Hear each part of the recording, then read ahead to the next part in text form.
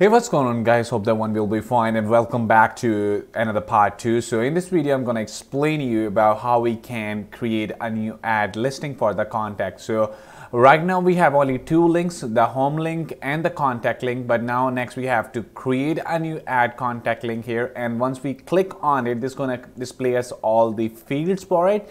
And but before jumping directly into it we need to create the API so first uh, we have to create the API so let's jump into the code. And I have already running my server with the PHP artisan serve. Um, I hope I have opened up on my yeah uh, if you're using VS Code that want to be good, so that's where you can uh, simply type here PHP artisan serve and on the second one you need to run on your bash npm run dev, right? Which I, I already run that, all right? So so the first thing I'm going to do here is to first go to my routes and go inside your web.php and that's where I'm going to create my very first API so let's jump into my web.php and write here a post here. So let's create here a route.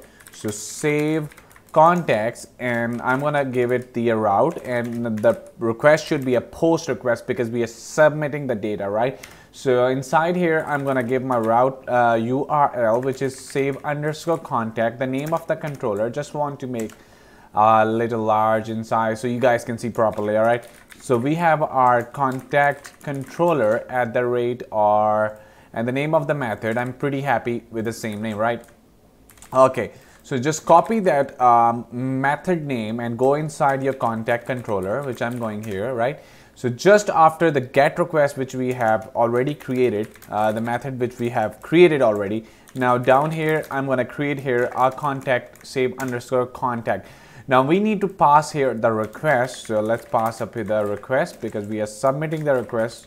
And uh, here inside the method of contact controller, we have to uh, we have multiple fields. So if I go up inside my database and just want to show you the migrations that we created for the so we have our name, email, bio, contact number, designation, and the image, which is actually, uh, we are also uploading the file. So make sure that we have to write the code for our image, right? So first thing I'm going to do here is to define my model, which is contact equal to new contact. Basically, new is what we are creating a new object for the model, right? Which is the contact model, right? And next after here we are uh, we have to check because the image is uh, not compulsory so I'm gonna uh, uh, define here a condition for the if request that if the request and has actually is a method uh, a very useful method which check if the request it will return the boolean if the request has the image and make sure that we are also applying another condition and it's not empty right so make sure that so let's pass here the image. So check so basically it will check if the request has the image. If we pass the image and it's not empty so what i'm going to do here is i i'm going to save it in my database with a function with like a time function. And uh, i also need to uh, so what actually I'm doing is whenever I save this data, this is to show in some random time and so you can see it later on. So I'm also concatenating that with the time and I'm to type the name, whatever the name of the image, which is request of image. And next I'm to pass here is the get client original extension, right? So which is a very useful function in Laravel and PHP, right? So get client original extension, make sure that you spell it right. So I hope it's, uh, it's what it says. It says the request unexpected error, right? I, I just forget to bring here dot for the concatenation, just saves it, right?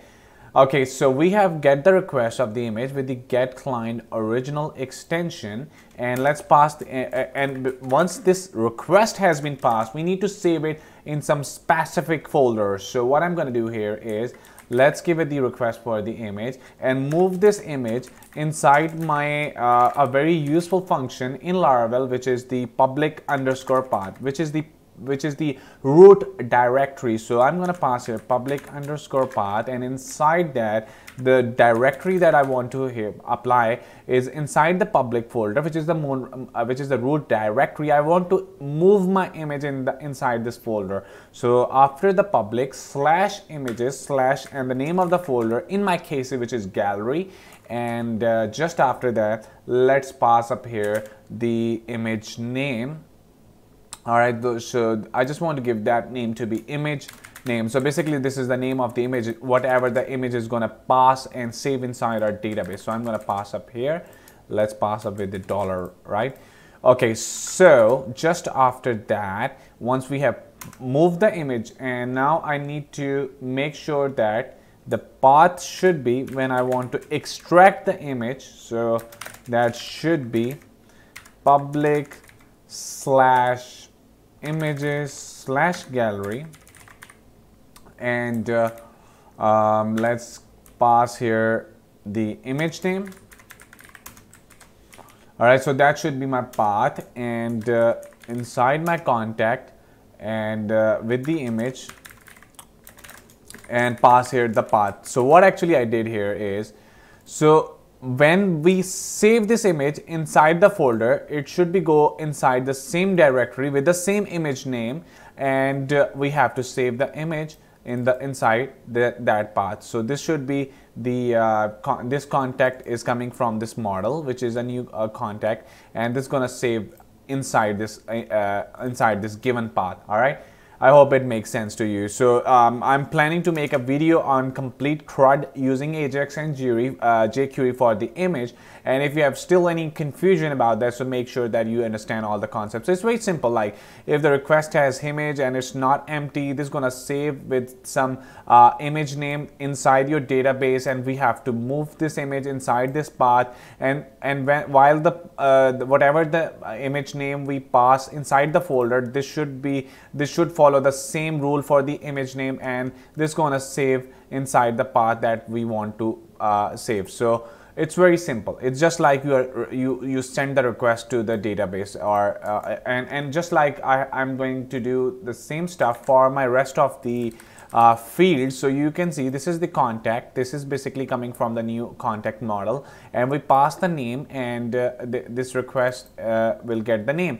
Right. Same for the e email. Same for the designation and bio and the contact number. Right. So we have all the fields up and uh, defined here and now if we are going to give a request here, so if the contact is saved and we need to return the response, so let's pass up here. Return response JSON and uh, inside that I'm going to pass here the status. So let's define here the status.